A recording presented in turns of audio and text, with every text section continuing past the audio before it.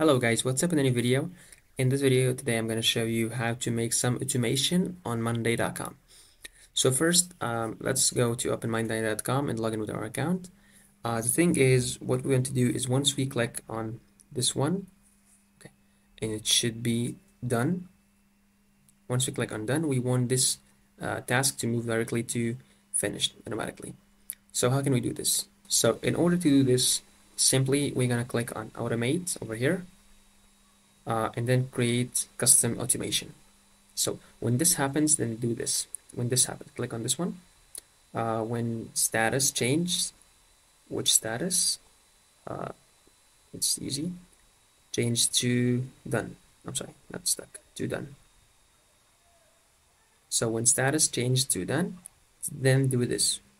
Move item to group which group, click on this one, finished, and create automation. So yeah, and just make sure to toggle this to on. So let's try to do this. Uh, so this status, it should be done. Then automatically move to finished. So hit like and subscribe if you find this very helpful and thanks for watching.